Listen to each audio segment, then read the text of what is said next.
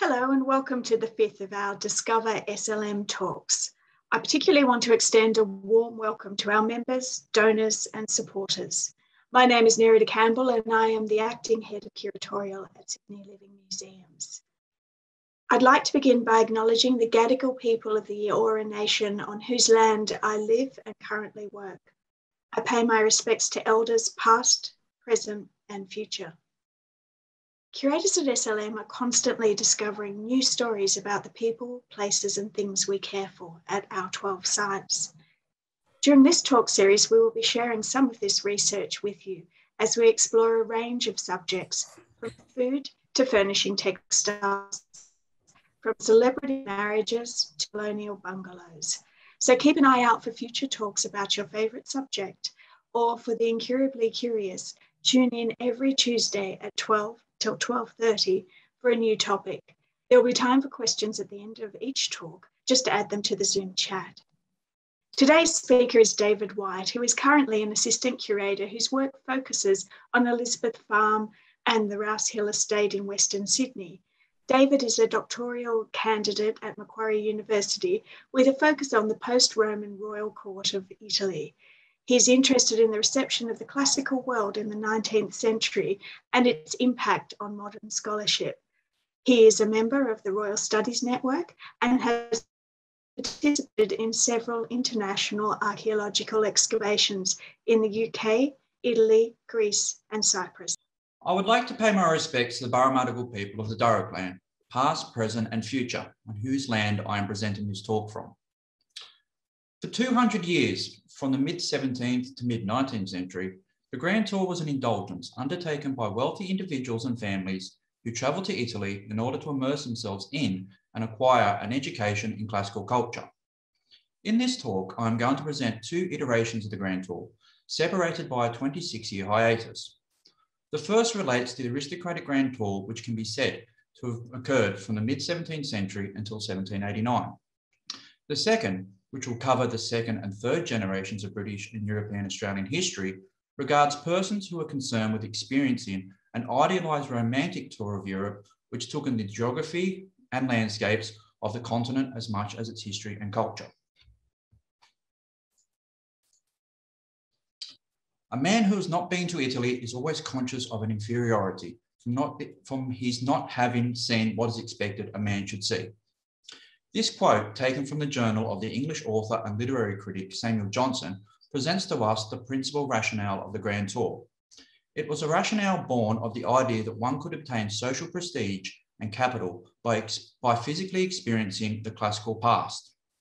Typically, the route taken on the Grand Tour left England via Dover and entry to Europe was made either through Calais in France or Ostend in Belgium.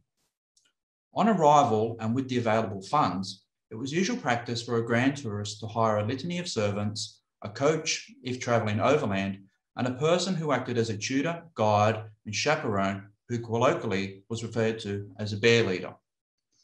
Common cities that a traveller would visit included Paris, Geneva, Turin, Milan, Florence, Pisa, Padua, Bologna, and Venice. From Venice, the traveller would make their way to Rome, and for the adventurous, they would continue to Naples, and for the daring, to Sicily, Malta, and Greece.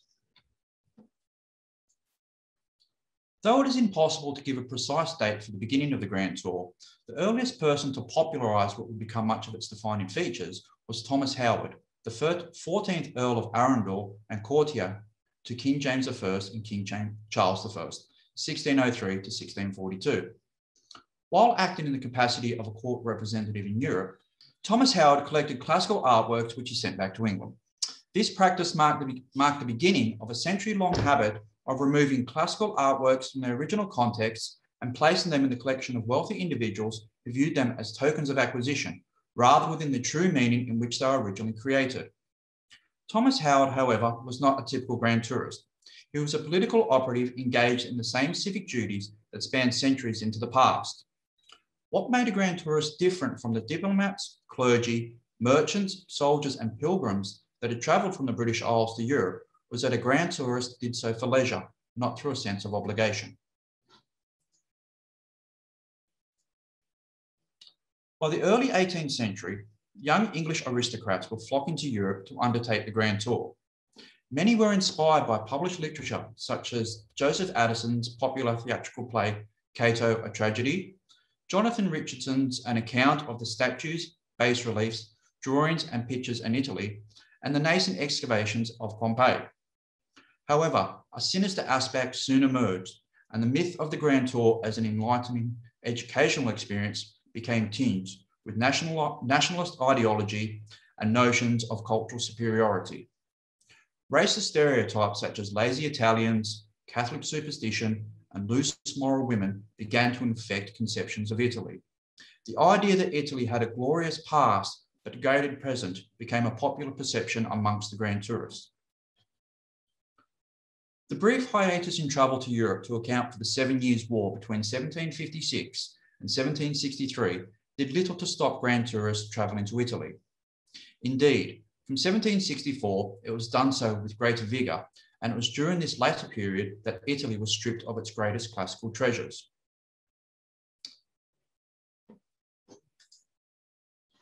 One of the more infamous procurers of classical antiquities was Thomas Jenkins, who, though trained as an artist, was more of a tour guide who could acquire classical artworks for the right price.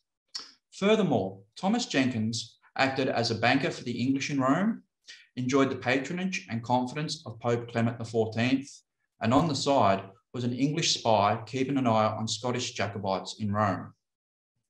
Thomas Jenkins was responsible for the removal of some of the most famous artworks of antiquity, including a Virgin of the Discobolus discovered in the villa of the Emperor Hadrian at Tivoli, the Barberini Venus, and the so-called Mattei collection, which had belonged to one of the most significant Italian families of the Middle and early modern ages. Thomas Jenkins can be seen as the pinnacle of the first iteration of the Grand Tour. His death in 1797 was preceded by his escape from Italy just prior to its occupation by the French army. Just six years later, in 1803, the British and French resumed hostilities, which, were, uh, which originated as a hangover from the Seven Years' War. What quickly became the French dominance of Europe severed British access to the continent. Importantly, for this presentation, the French dominance of Europe had an impact on two of the properties cared for by Sydney Living Museums.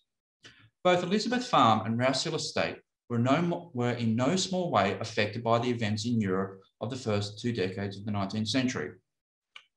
I'm sure many of you are aware that John Macarthur, who built Elizabeth Farm, made a good part of his fortune from the merino wool trade. If it were not for the French dominance of Europe and the difficulty for the English obtaining Spanish merino wool from the continent, John MacArthur would never have been granted sheep from the royal flock and 5,000 prime acres in what is today Camden. Indeed, it was MacArthur's success along with his antagonistic mannerisms that led to the, the deposal of Governor Bligh in 1808. The removal of Governor Bligh sharply divided the colony, and one of the persons who supported Bligh was Richard Rouse, then a superintendent of public works in Parramatta. Following the arrival of Governor Macquarie in late 1809, those who had supported Bligh were duly rewarded with government favours, and one of these acts, Richard Rouse was promised and later granted land where Rouse Hill Estate now sits. Following the conclusion of the Napoleonic War in 1815, British tourists flocked back to Europe. When peace came after many long years of war, when our island prison was open to us and our watery exit was declared practicable, it was the paramount wish of every English heart to hasten to the continent and to imitate our forefathers in their almost forgotten fashion of spending the greater part of their lives and fortunes in their carriages on the post roads of the continent. Certainly, a sense of being British, or at least belonging to the orbit of the British Empire, was pervasive amongst the colonists of New South Wales, and it is evident that the lure of international travel, especially to Europe, was paramount, paramount among those who could afford it. The pull to Europe was heightened by the advances in sailing technologies and a continuous increase in the number of persons arriving in New South Wales. Aboard these ships, especially following the assisted passage schemes that began in the 1830s, were individuals and families seeking to increase their social position by acquiring vast tracts of land beyond the Blue Mountains. With these persons came a taste of the neoclassical that had entered Britain via the Grand Tour. A pertinent example of such a person is John Verge, who was the principal architect of Sydney Living Museum's own Elizabeth Bay House. Examples of other significant residents not under our care is Camden Park House, designed for John Macarthur, and Subiaco at Rydalmere, which was built for Hannibal Macarthur, but has unfortunately long been demolished. Amongst the object collection of Sydney, Sydney Living Museums are multiple examples of the effect the Grand Tour had on the decorative taste of the colonial community of New South Wales. For those who travelled to England prior to the construction of the Suez Canal in 1859, the journey was an arduous endeavour that usually saw ships sail east around the southern island of New Zealand, making their way through the dangerous Southern Ocean, around Cape Horn and north through the Atlantic.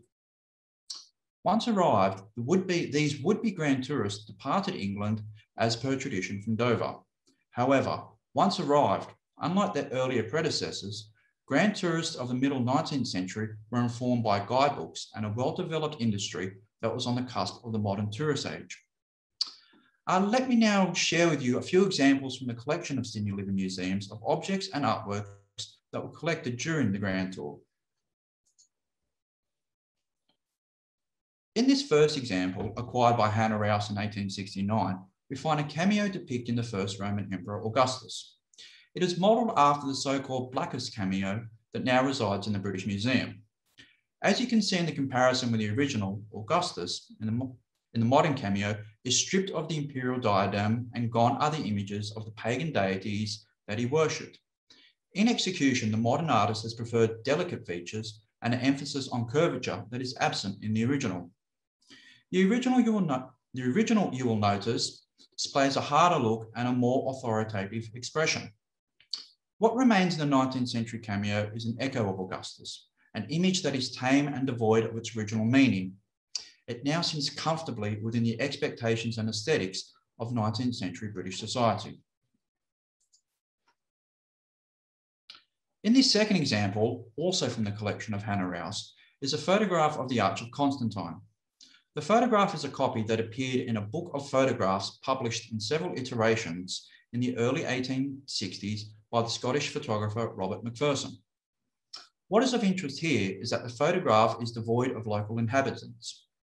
Rome, as it always had been, was a bustling city in the 19th century, home to upwards of 1 million people. The absence of any person in this photograph is therefore striking. In order to achieve this feat, Robert Macpherson and other commercial photographers catering to the grand tourists took their photographs early in the morning so as not to capture any locals who, granted, may have caused a distinct blurring, but also may have revealed the abject poverty that many local Romans suffered in this period. For the well-heeled traveller, poverty was the antithesis to the splendour of the Grand Tour.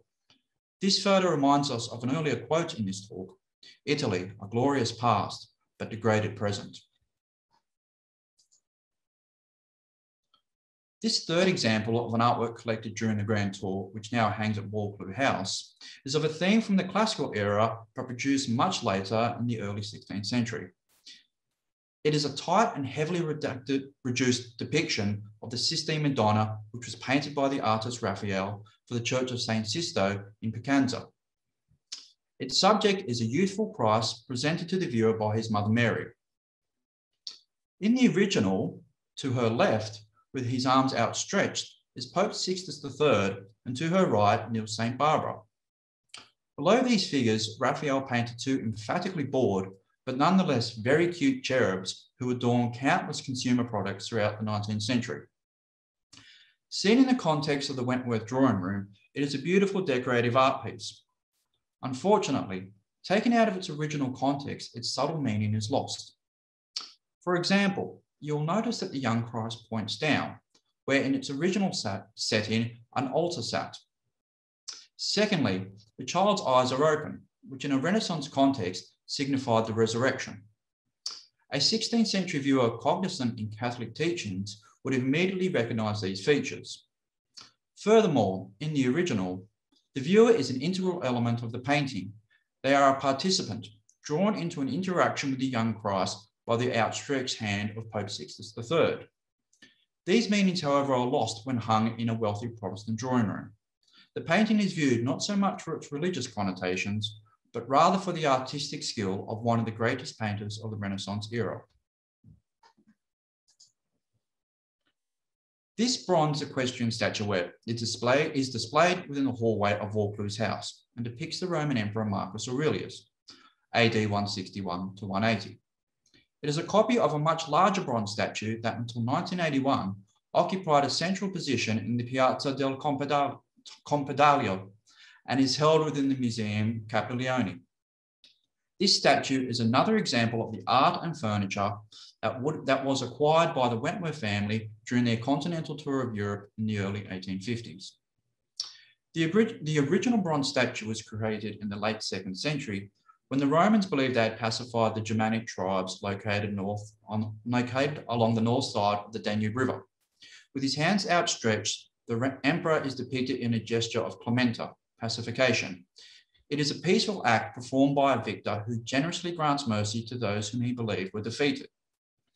Additionally, Marcus Aurelius wears a, a paludamentum, a military cloak, and his feet are covered by an aristocratic style footwear known as the calcei patricii. The base on which the emperor and horse sit is a much later edition produced in the 16th century by the artist Michelangelo for Pope Paul III. A person viewing the original statue in the second century would immediately have recognized and celebrated the occasion for which the statue was created. However, as a 19th century collector's piece, it is presented in a much diminished state, reduced in size and has lost much of its impact. It is now simply an adornment to be acquired and displayed, highlighting the fact that the owner had the economic and social means to embark upon the Grand Tour and was able to prove it by showing off what they had acquired. This next and last example I will show is another acquisition acquired by the Rouse family from Italy. In this picture, you can see that it sits on the mantle of the sitting room at Rouse Hill Estate. It is a copy of the so-called Barberini Venus, which if you recall, was acquired by the British uh, procurer of art and spy Thomas Jenkins. The subject of this statue is the Roman goddess Venus, whose association with love and beauty was a defining feature of the Grand Tour. The discovery of the original statue is shrouded in mystery, is shrouded in mystery, as is the amount of restoration or indeed additions to the statue. It is certain that the head, though ancient, is a modern addition, as are the arms. In fact, in its original state, the nakedness of the goddess was in full view, alluring to the story of her birth. In fact, it is very likely that this was the reason Thomas Jenkins was able to get permission to export the statue from Italy. In England, there too, it was considered inappropriate to display the full body of the goddess, and the arms were sculptured in such a way as to cover her body. In doing so, of course, the impact and narrative of her birth is completely lost on the modern viewer. So indeed, what was the mythology of the Grand Tour? The mythology of the Grand Tour is that it was an exercise in interpreting and understanding classical culture. Much of its educational and refining qualities very quickly gave way to nationalist ideology. It is no coincidence that the Grand Tour and interest in the most famous empire of Europe coincided with the rise of the British Empire. This quote by the architectural historian Siegfried Giedion offers an excellent summary. History is not simply the repository of unchanging facts, but a process, a pattern of living and changing attitudes and interpretations. The backward look transforms the object. Every spectator, at every period, at every moment, indeed, inevitably transforms the past according to his own nature. History cannot be touched without changing it. The Grand Tour was nothing more than an, was no more an experience of the classical world than that felt by the modern tourist. From the 17th to the 19th century, the Grand Tour reflected present society. Each statue, artifact, and landscape was experienced through the prism of contemporary ideology. The great myth of the Grand Tour, what is it? The great myth of the Grand Tour was that it was anything but a contemporary indulgence. Taken out of context, the original meaning of the art and objects acquired by these tourists are lost and are indeed irretrievable. they speak a new language, one that is deaf to the classical world, but boasts loudly of the emergent modern world and the persons who occupy it. Thank you. Thank you, David. That was fascinating. I have to ask the first question myself. I'm fascinated by the objects in the Sydney Living Museum's collection that relate to the Grand Tour. And I was wondering if you could tell me what's your favourite? Oh, my favourite object. I do quite enjoy the Sistine Madonna, actually. Um, it's a beautiful art piece. It actually now resides in Germany. It has quite a history itself, um, traveling to Germany in the 19th century. Um, it's imbued with so many nuances um, and interpretations um, that you could look at it for, for hours and hours. And of course, a painting by Raphael, you know, one of the, the geniuses. Um, of course, it's a, it's a magnificently beautiful painting.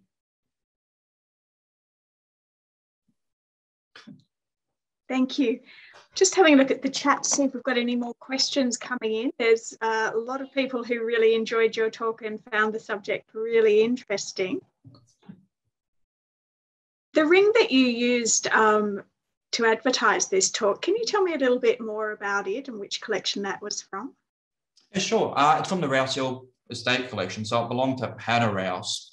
Um, she likely acquired it in Italy uh, when the when herself um, and two of her children attended the Grand Tour. Um, by the, the later half of the 19th century, the Grand Tour had changed somewhat from its earlier iteration. In its earlier iteration, it was aristocratic men taking it. By the later 19th century, families were, were going for it, um, were taking the Grand Tour. Um, it's a, a, cameo, as I mentioned, of the Emperor Augustus.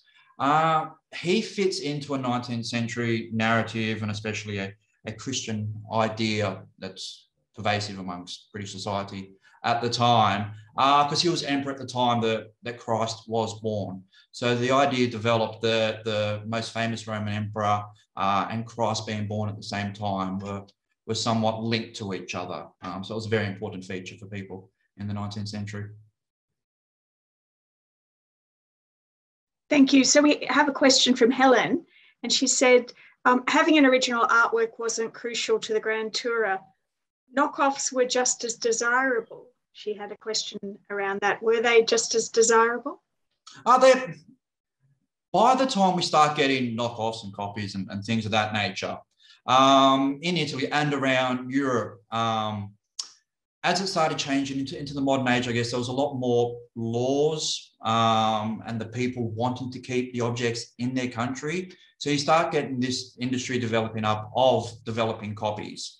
And they're great copies. They're, you know, you can almost put them side by side with each other. And some of the masters from the 19th century did fantastic work. So it's how, so it's how you feel when viewing a copy. If you find it um, pleasing, if you enjoy viewing the copy, well, then that's fine. That's, you know, that's, that's brilliant. That's fantastic. You don't need the original to feel the same way, perhaps about the subject. Um, so, but in the earlier period, um, in your oh, 17th and 18th century, certainly, they are taking the originals out because there aren't those export laws there. There's not the desire by the, the Italians or even the Greeks or you know these kind of people to keep the objects at that time in their country. Now, another question from Steve. Um, he said, I remember your formal rooms and statues and pictures tour of Vaucluse House. It was a very good tour indeed. I was wondering if you had any of that tour written down. Any of my tour of Vaucluse House? Yes, the uh, the tour oh. with the statues and pictures. Um, what those tours, and it's of similar when we go out to Rouse and, and E Farm and, and all those properties. You don't have it written down, but you certainly get into a pattern and you know what you're talking about. And sometimes you know, when you end up doing three or four tours a day, sometimes you, you get confused with yourself because you're repeating so much. So while it's not written down, it's certainly in all VIOs, visitor interpretation officers, the, spe- the speech is in your head and it's remembered quite well.